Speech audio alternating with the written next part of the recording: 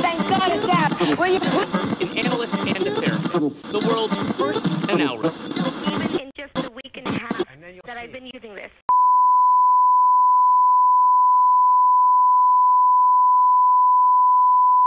So we are here with LA-based band Health.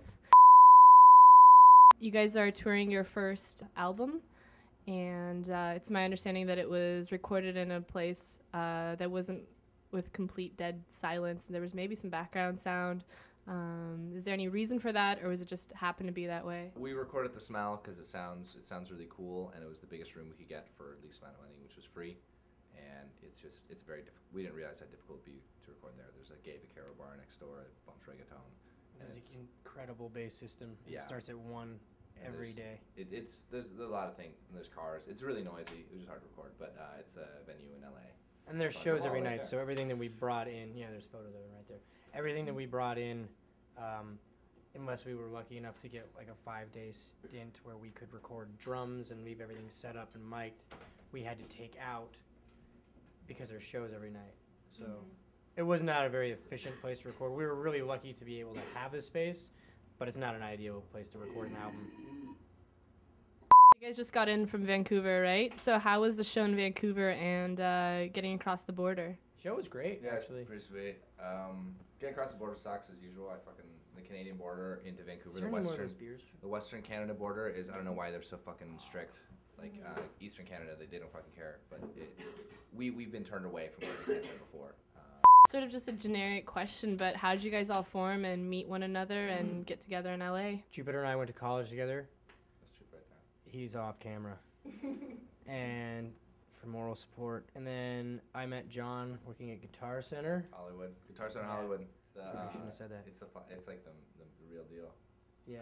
part of the you're part of the music business if you Yeah. work at Guitar Yeah, Center no, I- Hollywood. yeah, It's not the same as the guitar centers you guys have here. All right. yeah, and it was miserable, and we both bought a lot of equipment while we worked there, and then we met BJ. on- We placed an ad for um, what was the ad for again? It's Craigslist. Craigslist, we played for a drummer, and that's BJ's drummer. It, it's it's not very interesting. It just kind of came together. No one, Yeah, I thought you were gonna say I was. no one fucked each other. I was trying to come up with a. I was trying to come up with something cool for the ad, but I couldn't think of anything, so I. Oh, actually, we did find him in the casual counters. That is Yeah. true. So, in terms of your guys' sound, you said you started out kind of uh, with a different, a different sound in the beginning. Do you guys have any influences that might particularly have affected your music, or um, you guys just sort of stand alone? But is there anybody maybe you'd like to mention that uh, you get your ideas from? Uh, in the beginning, I, I think now, um, now I don't think we're taking very much direct influence from bands we were really big fans of. But when we were starting and shit, uh, Ex Models was a really, really big influence. Animal Collective was big, I think. Um, though not directly though, but we were we were really fucking stoked on Animal Collective. Uh, I guess uh, I think we're pretty much always listening for like the past two years. Uh, Chromatics and Glass Candy and anything Italians do better related like Mirage and whatever the fuck. Uh, Dance music. yeah, a lot of blog house. You know, like you go to fucking whatever blog, Like stupid and then and then, and then there's always like, hey, it's a hot new remix. Like we're always listening to that. Uh, I like that shit a lot. And then uh, Crystal Castles, of course, and Booty Bass, like DJ Assault, DJ Funk. Um, uh, I think I often download like I'll go to the Power 106 like playlist and get the top ten. I think. Yeah, there's a lot of Nirvana in the car. Has Health met Ozzy?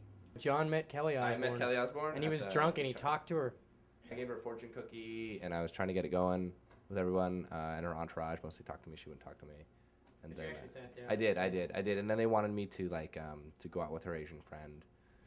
It's racist.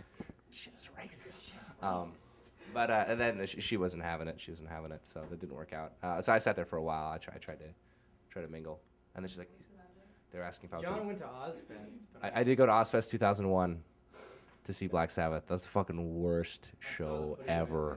What's that? That uh, robot movie with Tom Selleck in it? You know what I'm talking about, Beach? Yeah, that's Runaway. Runaway. I know that one of your uh, tracks, Triceratops, was remixed by somebody from Montreal, CFCF. Um, and it's been getting a, like a pretty decent amount of play here on the dance floors in Seattle. And so, That's fucking awesome. yeah. I had like a, we were, I don't know if that's actually happening. So we're like, we, we, we're, we're trying to we're trying to outreach. Like we want DJs to be playing all the fucking Yeah, we need remixes. But I'm stoked the CFCF remix is being played in the club. Um, but no, no, no. We really want DJs to be playing the remixes, and that's why in the fucking. that was ideally the hope, but we it's hard to keep track of whether whether or not someone like you, who lives in a city, tells us that DJs are playing the remixes we've had done, um, or commissioned or whatever. We don't really know if it's happening. You might know if, if blogs are posting them, and then you would hope that Yeah. DJs are gonna play them, but we don't really know. yeah, we have like an FTP with all the fucking remixes, like because we want DJs to like get all the have- tracks. How many, how many remixes do we have?